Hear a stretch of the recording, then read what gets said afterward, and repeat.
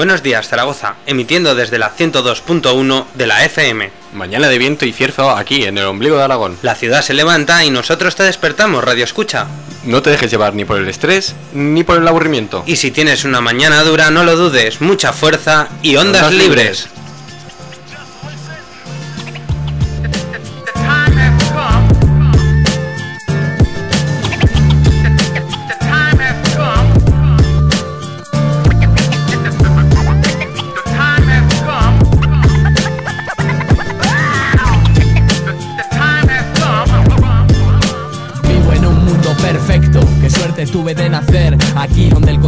Consume el placer Sigo el camino recto, estudiaré al parecer Así es como se consigue ascender. Cuido y mimo mi aspecto Al amanecer, calzoncillos limpios son menester. Por lo que pueda suceder, si no soy aparento Buscaré una mujer, un pisito Y veremos los hijos crecer. Para vivir solo necesito éxito Me esfuerzo en mi trabajo, curro a destajo Quizás aquí si me valoren como merezco. Domingos fiesta, conozco al encargado, parece majo.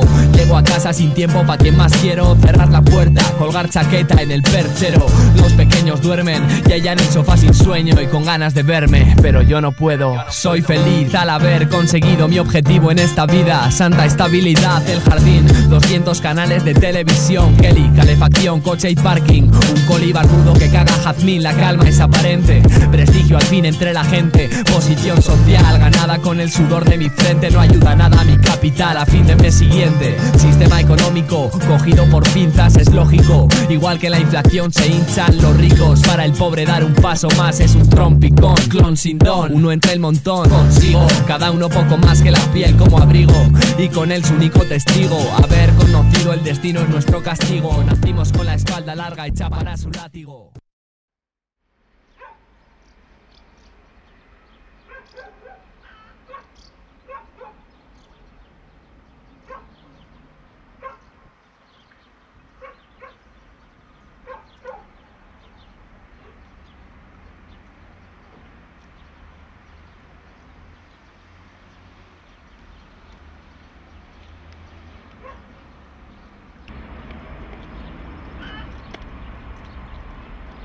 A ver, por lo que me han dicho, que yo tampoco. Yo llevo aquí unos cuatro años, antes, antes había aquí un descampado, pues un descampado, típico descampado guarro, y antes, hace muchos, muchos, muchos años, debe ser que sí que había huertos.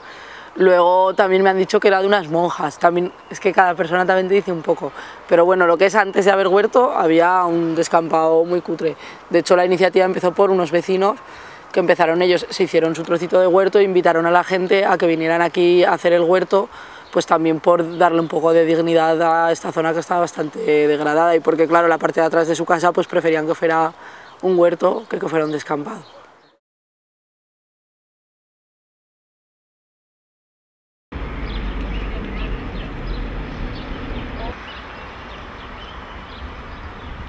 Me llamo Irene y esto es un huerto ocupado eh, que está dentro de una ciudad, que es Zaragoza. El por qué un huerto ocupado, pues porque este espacio está aquí y está mal empleado y para que esté mal empleado pues lo empleamos nosotros, ¿no? Y, y también es más bonito hacer algo que tú llegas y todo lo haces a partir de, de tu trabajo, ¿no? Que es, lo que, estamos, que es lo que sería la autogestión, aquí todo lo estamos haciendo a partir de nuestro trabajo. Darle un uso a un espacio que es que es- este es un espacio especulativo. Está en una zona que se está dejando de degradar. Aquí solo queda una parcela donde vive gente y el resto de las parcelas se han ido dejando que se vengan abajo, se han ido declarando ruina y solo queda una parcela sin declarar ruina. Y pues primero eran, empezaron unas cuatro personas por aquí y luego pues ha ido llegando gente poquito a poco. Había solo ocupado pues un trozo que había entre unos muros, luego se han empezado a tirar muros y a ocupar a los lados. Encontramos otra toma, otra toma de agua también. Un día mirando así por el suelo vimos una tubería que salía agua, rota, que salía agua, que se estaba perdiendo ahí agua. Entonces pusimos un empalme y ya está, y esa es una de las tomas de agua. Y era agua que se estaba perdiendo, agua de, agua de boca de la de las casas que se estaba perdiendo, una de tantas tuberías rotas como hay lo que eso ha posibilitado que se puedan ocupar más huertos, porque el tema del agua aquí en Zaragoza sí que en verano es un poquillo delicado. Entonces, claro, hay veces que riegas a manguera y dices, debería regar por goteo que es más ecológico, pero por otra parte dices, vale, pero aún así, este agua se estaba perdiendo como tanta agua que se pierde. Pues tú vienes que hay alguien regando, pues te esperas. Que no hay nadie, pues riejas. Que te viene muy mal, oye, mira que me tengo que ir a currar luego, que porfa, que déjame regar, que tal. Yo qué sé, más o menos va así la cosa. No, no, no hemos tenido todavía que hacer turnos.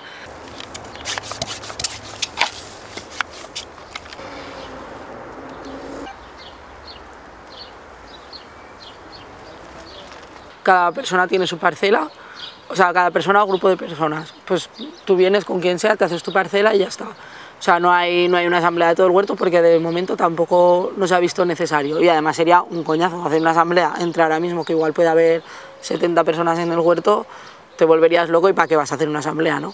Que eso, eso no, no se está haciendo. Dentro de cada parcela, pues ya cada uno se lo monta como quiere. Ahora en la parcela que estoy yo estamos dos personas que estamos siempre y luego ahora mismo nos están ayudando un par de personas. Es que también sabes qué pasa, vivimos en la precariedad. Entonces no te puedo decir exactamente, nos organizamos así porque depende, porque depende de lo que trabajemos en ese momento. Y como tampoco no tenemos trabajo fijo, normalmente el otro chico que está trabaja más horas que yo entre semana, entonces entre la semana vengo yo y el fin de semana viene él. Vengo dos, tres días entre semana y él viene el fin de semana.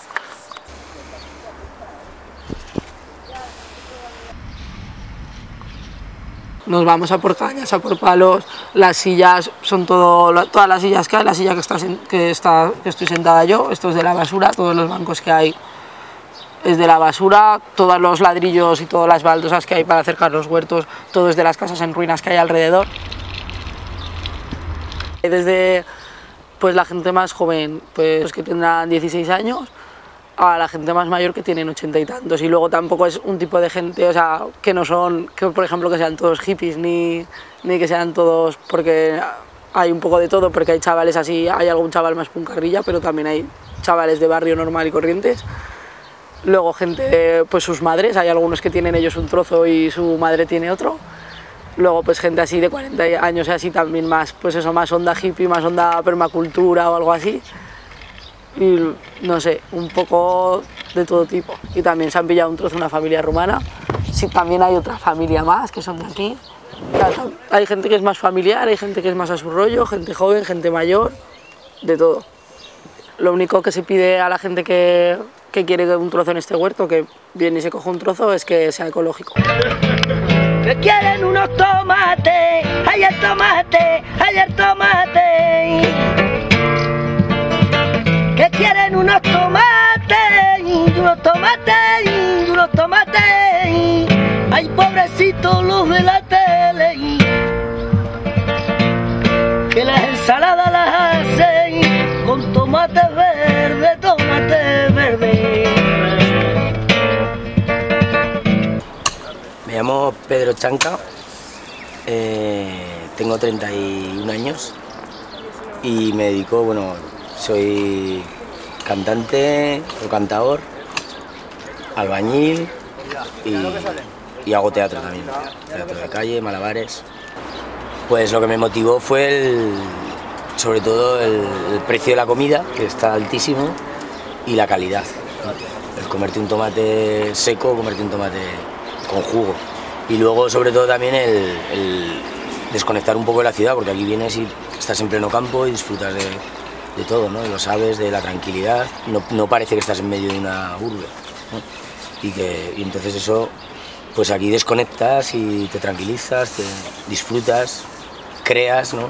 Tienes pues, dar paso a la creatividad y a, disfrutar de, pues eso, de las gallinas, de, de todo. ¡Oh!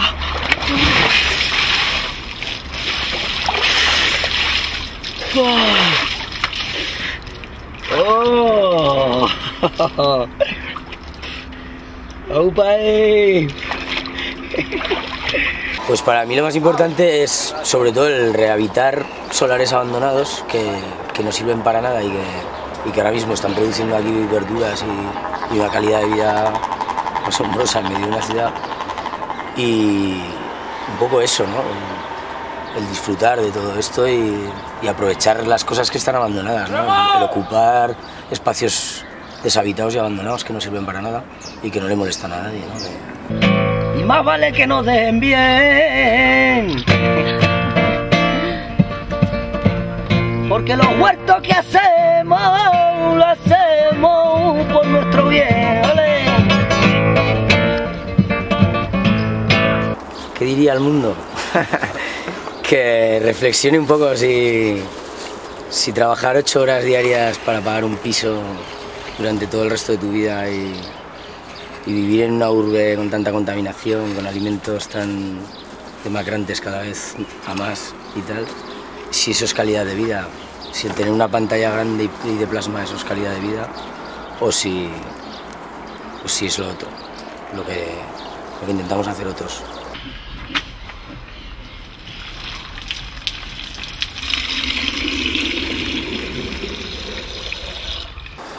Mi nombre es Nacho. Eh, tengo actualmente 42 años. Y bueno, trabajo de portero en una comunidad de vecinos. Y bien.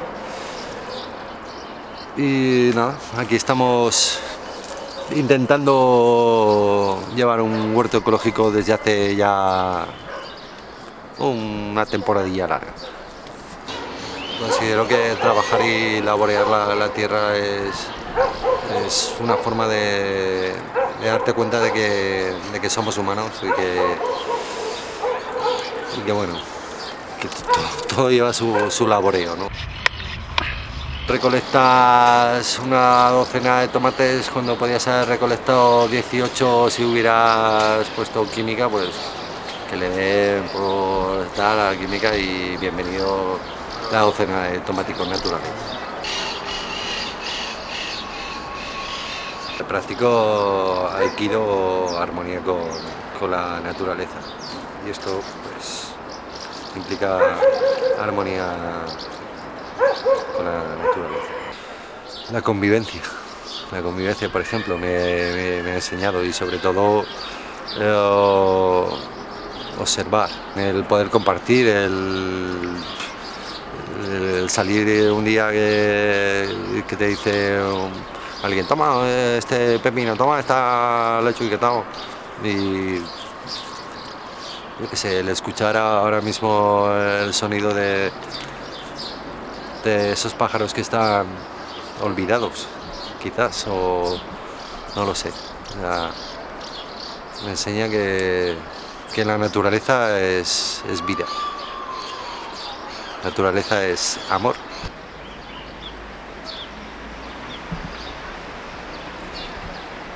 Verte rodeado de, edificios y decir, estoy aquí.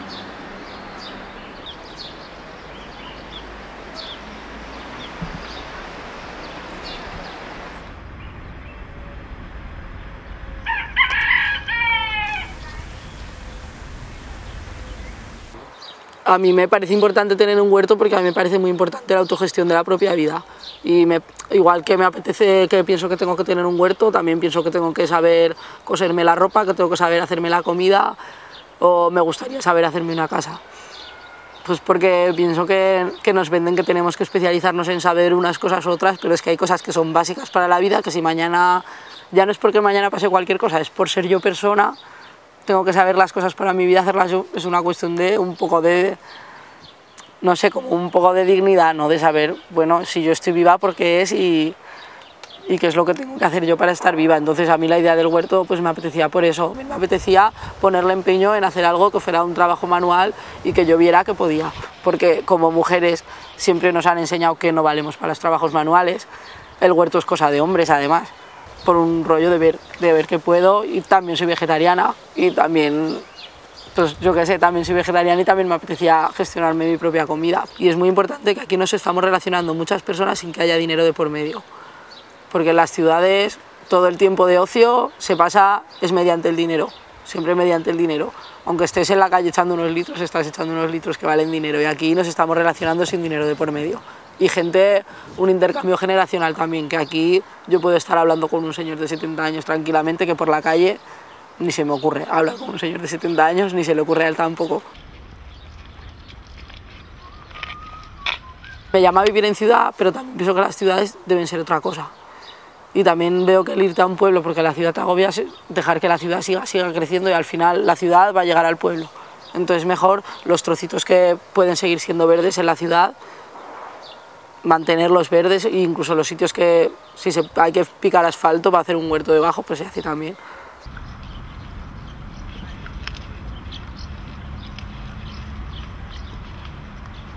Estoy en el huerto y estoy en mi, en mi lugar. Nadie me molesta.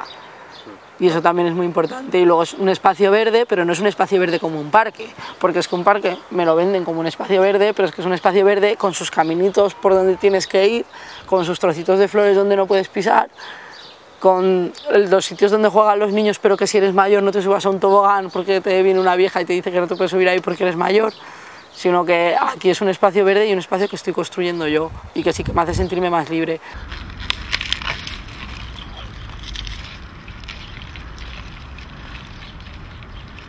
También en el huerto me he dado cuenta que antes no era tan consciente en la ciudad de, de los ciclos, de las estaciones y así ya no solo de las estaciones sino de los ciclos de vida o muerte.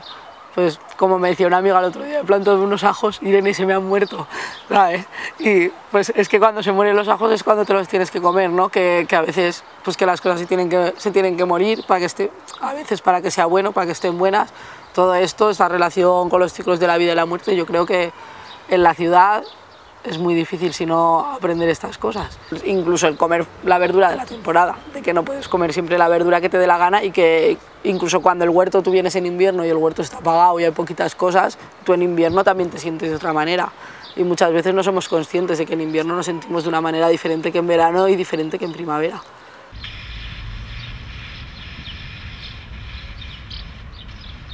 Aquí no queremos nada de nadie, porque no nos hace falta. Porque el, el hecho de que esto sea algo autogestionado es, te da la fuerza de decir esto lo estoy haciendo yo solo y soy capaz y no necesito nada de nadie. Y la energía que te da el saber que tú eres capaz tú solo, no había nada, hacer algo bonito, esa sensación tan buena no te la va a dar el ayuntamiento. Aquí no hay una persona, alguien que parte y reparte y si te llevas bien con él te toca más y si te llevas peor te toca menos. Aquí cada uno, tú coges la azada y lo que seas capaz de picar, pues ese trozo para ti siempre que no sea de nadie antes. Nosotros somos malas hierbas. Pues porque no te pones a picar narcóticas. Ah, Si está bien ahí, ¿eh?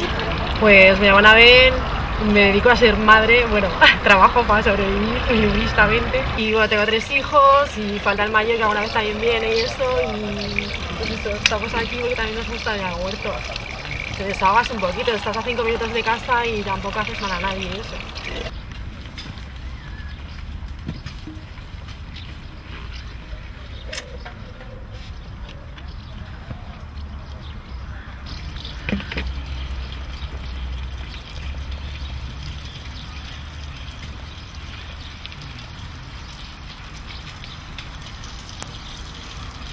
Pues porque es algo diferente, estás en la naturaleza, o sea, no te metes con nadie, vienes aquí, te desestresas, picas, plantas y... Toma. Y, y no sé, te desahogas un poquillo, ¿no? Y encima pues tienes el privilegio de comerte unas ensaladitas, unas patatas fritas que has hecho tú, o unas habas, o unas coles y compartes con la gente. No sé. Este invierno, por ejemplo, tenía todo el huerto lleno de lechugas de roble porque tenía un sobre así a saco, ¿no? Y cogía todo el huerto, las cogía, ¿no? Y decía, sí, sí, ahorita escogemos para que se suba. El ambiente que tenemos entre todos, ¿no? Que hasta a lo mejor hasta cuando tienes tiene. contradicciones o malos entendidos se pueden arreglar bien, o sea, es un ambiente más natural, ¿no? Todos nos dedicamos a trabajar, tener que comprar, sobrevivir, pagar impuestos, pero es algo diferente. Bueno, no. No, no, ¿eh? Yo no la riego. Me hace daño. Me siento libre. que huele bien. Sí, aquí soy yo también. Bueno, soy yo, intento ser yo, pero aquí eres libre, o sea, te- no, no te estás preocupando de lo de alrededor, no molestas a nadie, libertad. Y desahogo, o sea, antiestrés, a tope.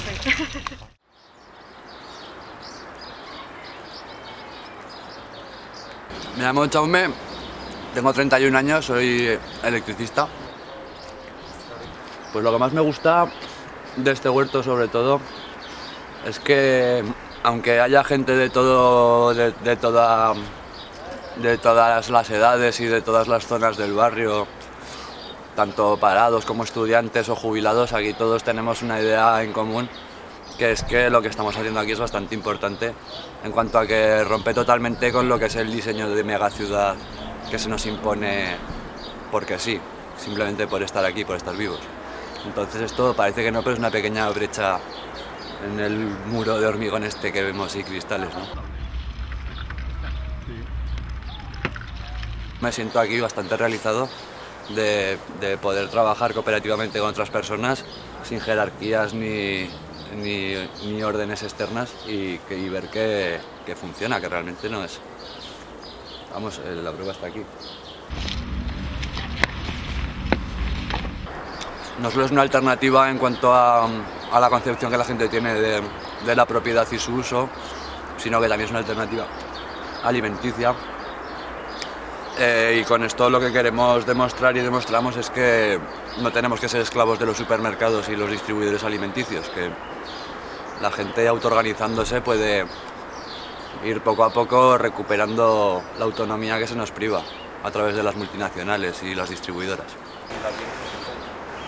Pues lo que he aprendido aquí sobre todo es a compartirlo todo, a cuidarnos unos a otros, tanto a las plantas como a los compañeros, y, que cada pequeño gesto es importante.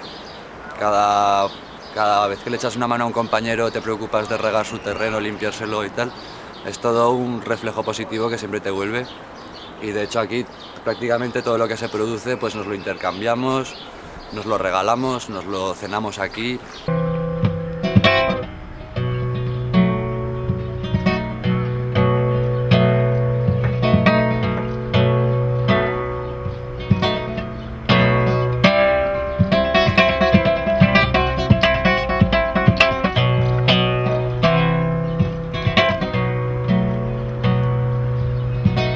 con que a nosotros nos echen y se sigan ocupando más trozos y, y se puedan ocupar también centros sociales, que no sea solo el huerto, sino que al huerto vaya unido centro social y que la gente que está aquí ocupando saque de esto algo para luego hacer más cosas, que no se quede solo en el huerto. Que esta fuerza que han visto, que pueden hacer un huerto, que igual que pueden hacer un huerto, pueden hacer lo que les dé la gana. Y sin contar con nadie, sin ayudas y sin subvenciones. No sé, pues quiero decir que, bueno, que ya que estamos hablando de Zaragoza, ¿no? Y estamos hablando de la ciudad de la Expo y, de la Expo del Agua, pues que, que aquí estamos en un huerto, que es un huerto ocupado y que está resistiendo, pero que, que esta Expo tan del agua y tan ecológica y tan sostenible se ha cargado un montón de huertos. Y igual que con la Expo se están cargando un montón de huertos con un montón de cosas y que, y que, y que es que comemos de los huertos. Y los huertos no solo son un sitio donde comer, sino son una experiencia que vivir y se la están cargando y se están cargando toda una cultura de los huertos y encima están yendo de ecológicos. Y que, bueno, que, que yo soy consciente de lo que está pasando, que me gustaría que la gente fuera consciente de eso, de que, de que un huerto no vale, o sea, que es que una torre del agua no vale ni medio huerto por más que sea muy moderna y muy chula y muy guay y muy bonita, porque un huerto, ahí había huertos que llevaban 100 años y esa tierra estaba, llevaba 100 años siendo trabajada y era una tierra buena. Y eran años de cultura ahí, de experiencia. Y todo eso, la Torre del Agua puede durar 50 años, porque es un edificio. El mundo va caminando sobre una nueva era. De los colores que van cambiando,